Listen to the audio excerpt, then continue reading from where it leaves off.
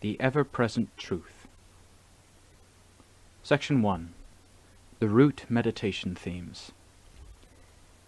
Has anyone ever been ordained in the Buddha's religion without having studied meditation? We can say categorically no, there hasn't. There isn't a single preceptor who doesn't teach meditation to the ordinand before presenting him with his robes.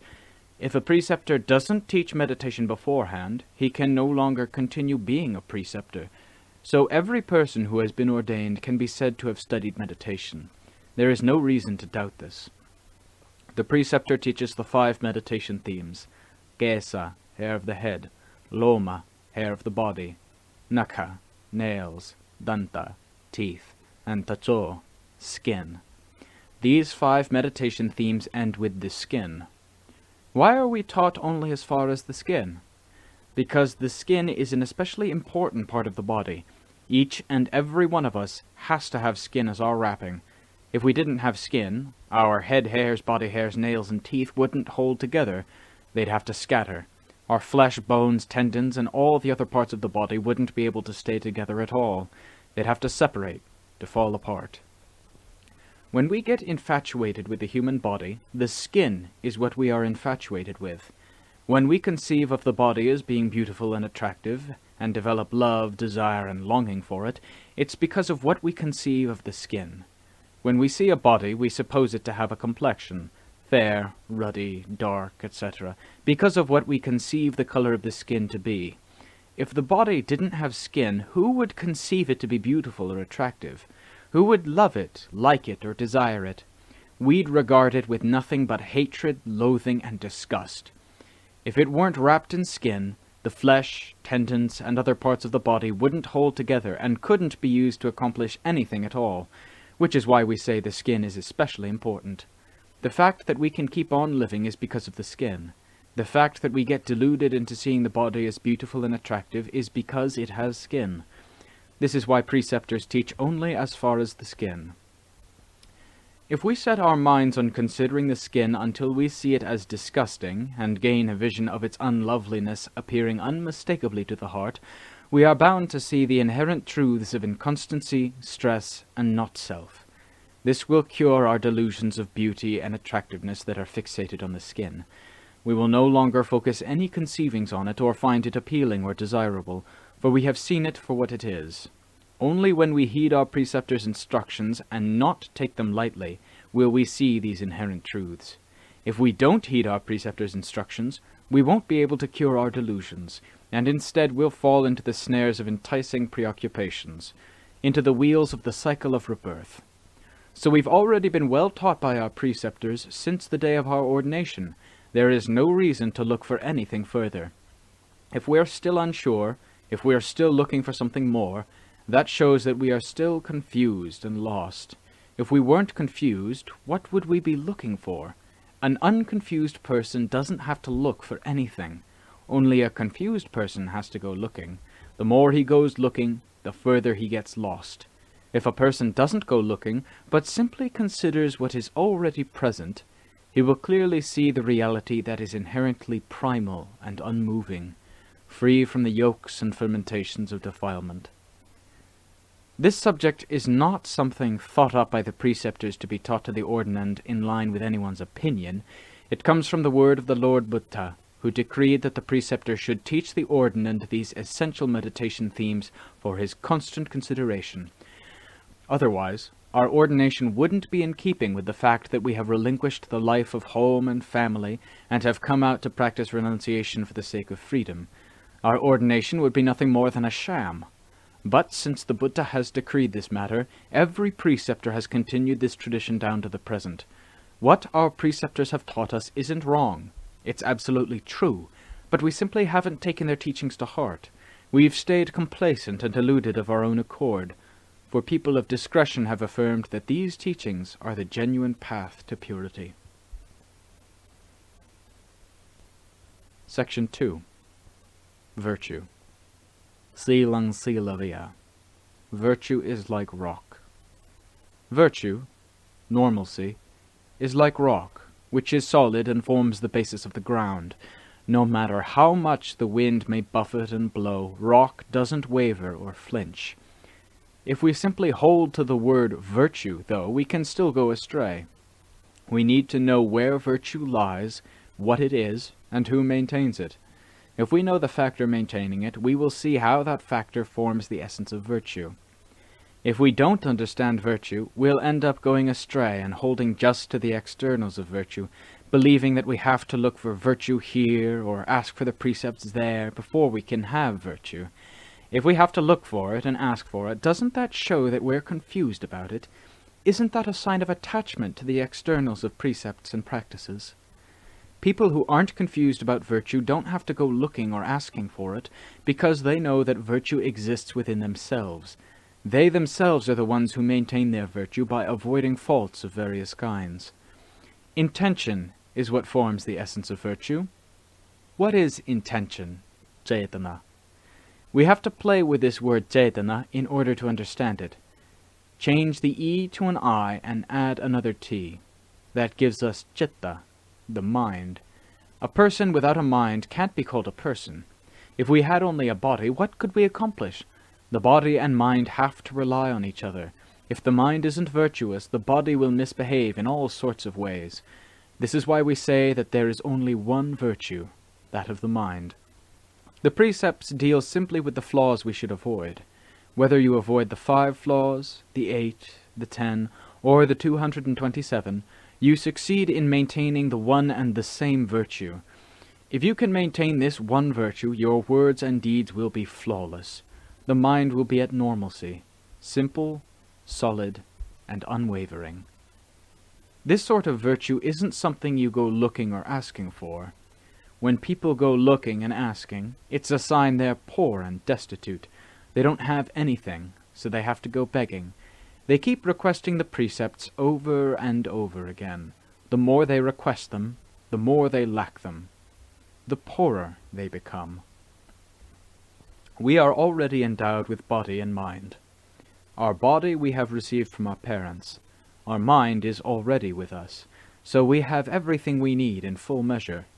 If we want to make the body and mind virtuous, we should go right ahead and do it. We don't have to think that virtue lies here or there, at this or that time. Virtue already lies right here with us. Akaliko. If we maintain it at all times, we will reap its rewards at all times. This point can be confirmed with reference to the time of the Buddha, when the five brethren, Venerable Yasa, his parents and his former wife, the Kassapa brothers and their disciples, King Bimbisara and his following, and so on, listened to the Buddha's teachings, they didn't ask for the precepts beforehand. The Buddha started right in teaching them. So, why were they able to attain the noble paths and fruitions? Where did their virtue, concentration, and discernment come from? The Buddha never told them to ask him for virtue, concentration, and discernment.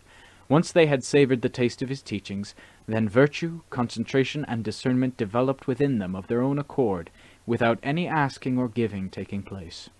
No one had to take the various factors of the path and put them together into a whole, for in each case virtue, concentration, and discernment were qualities of one and the same heart. So only if we aren't deluded into searching outside for virtue can we be ranked as truly discerning.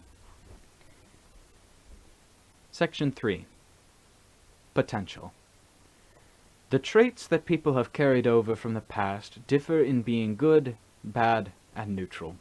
Their potential follows along with their traits, i.e. higher than what they currently are, lower, or on a par.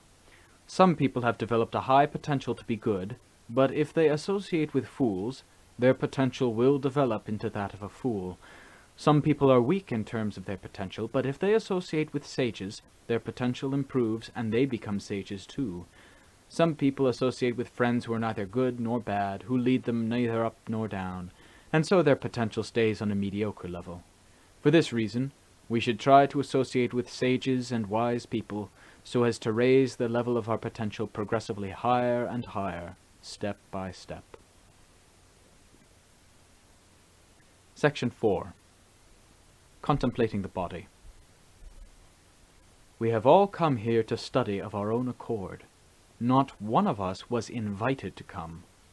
So, as we have come to study and practice, we should really give ourselves to the practice, in line with the example set by the Buddha and his Arahant disciples. At the very beginning, you should contemplate all four truths, birth, aging, illness, and death, that all the noble ones have contemplated before us. Birth. We have already been born. What is your body if not a heap of birth? Illness, aging, and death are all an affair of this heap. When we contemplate these things in all four positions, by practicing sitting meditation, walking meditation, meditation while standing or lying down, the mind will gather into concentration. If it gathers briefly, that's called momentary concentration.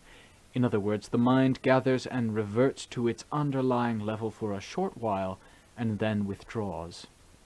If you contemplate without retreating until an uggaha nimitta, an arising image, of a part of the body appears within or without, contemplate that image until the mind lets go of it and reverts to its underlying level, and stays there for a fair while before withdrawing again. Concentration on this level is called threshold concentration.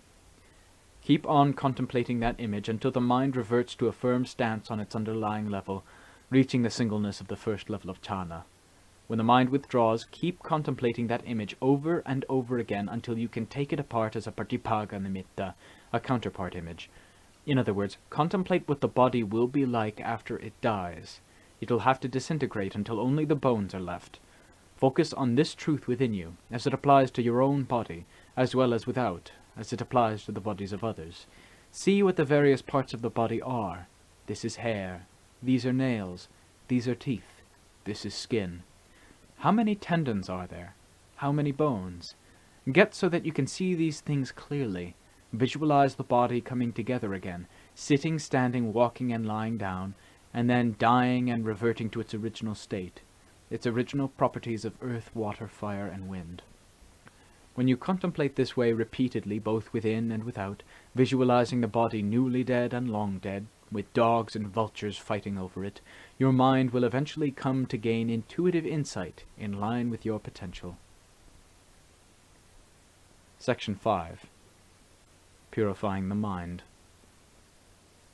Sachitta paryodapanang etang buddhana sasanang to purify one's own mind is to follow the Buddha's teachings. The Buddha, our foremost teacher, taught about body, speech, and mind. He didn't teach anything else. He taught us to practice, to train our minds, to use our minds to investigate the body.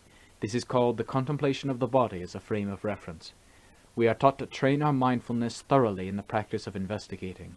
This is called the analysis of phenomena, Dhammavicaya, one of the factors for awakening, until it reaches a point of sufficiency. When we have investigated enough to make mindfulness itself a factor of awakening, the mind settles down into concentration of its own accord. There are three levels of concentration. In momentary concentration, the mind gathers and settles down to a firm stance, and rests there for a moment before withdrawing. In threshold concentration, the mind gathers and settles down to its underlying level and stays there a fair while before withdrawing to be aware of a nimitta of one sort or another.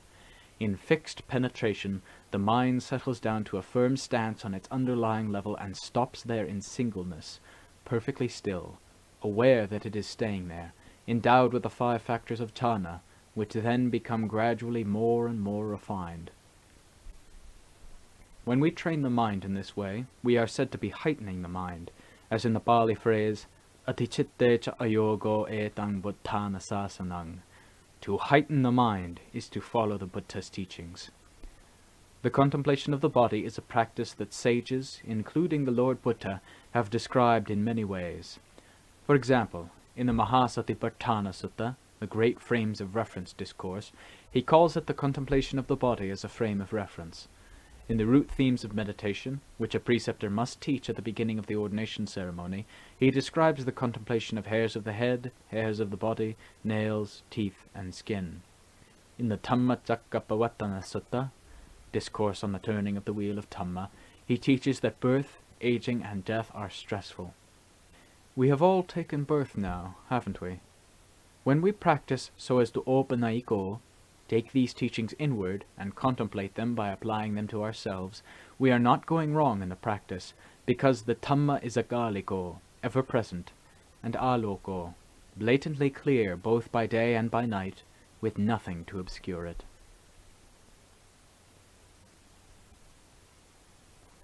Section 6.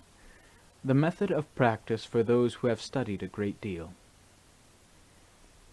People who have studied a lot of the Dhamma and Vinaya, who have learned a large number of approaches together with their many ramifications, when they then come to train their minds, find that their minds don't settle down easily into concentration. They need to realize that they must first take their learning and put it back on the shelf for the time being. They need to train what knows, this very mind, developing their mindfulness until it is super mindfulness, their discernment until it is super discernment, so that they can see through the super deceits of conventional truth and common assumptions that set things up, naming them this is this and that is that, days, nights, months, years, earth, sky, sun, moon, constellations, everything, all the things that thought formations, the conditions or effects of the mind, set up as being this or that. Once the mind can see through these effects of the mind, this is called knowing stress and its cause. Once you practice this theme and develop it repeatedly until you are quick at seeing through these things, the mind will be able to gather and settle down. To focus in this way is called developing the path.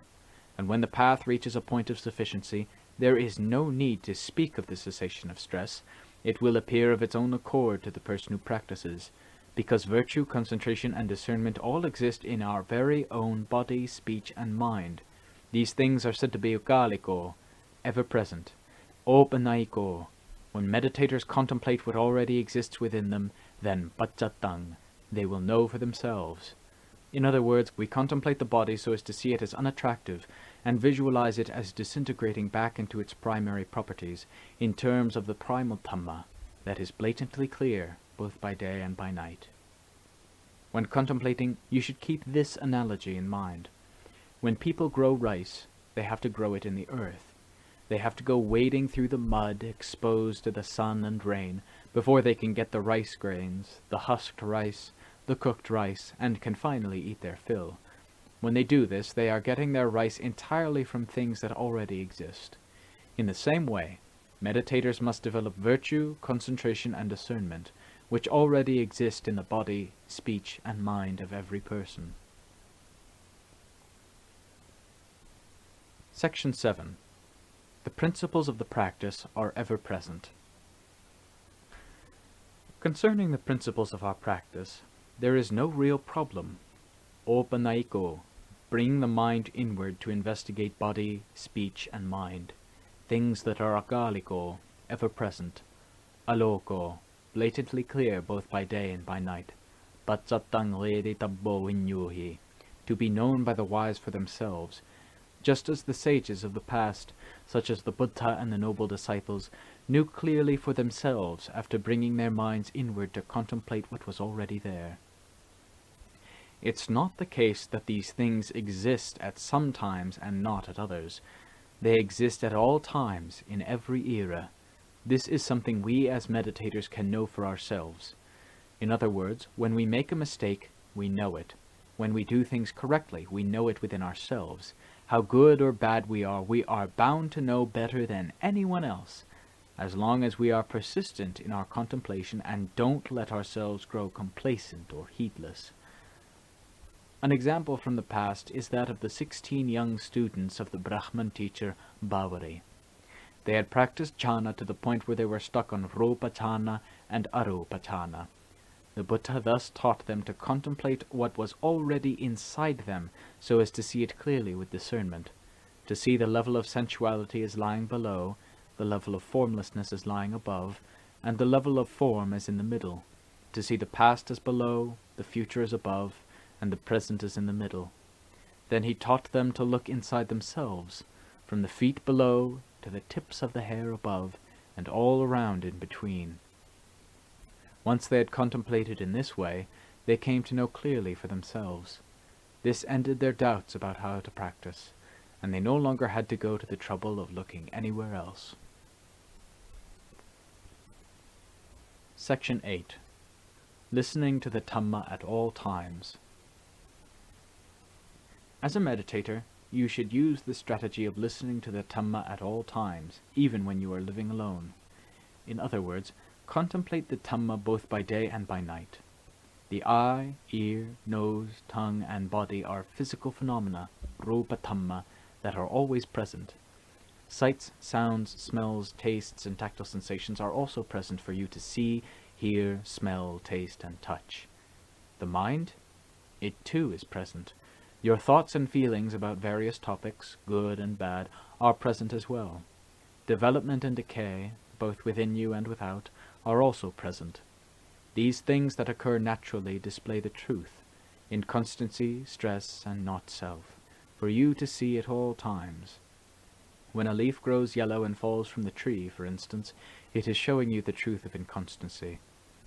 So when you continually use this approach to contemplate things with your mindfulness and discernment, you are said to be listening to the Dhamma at all times, both by day and by night.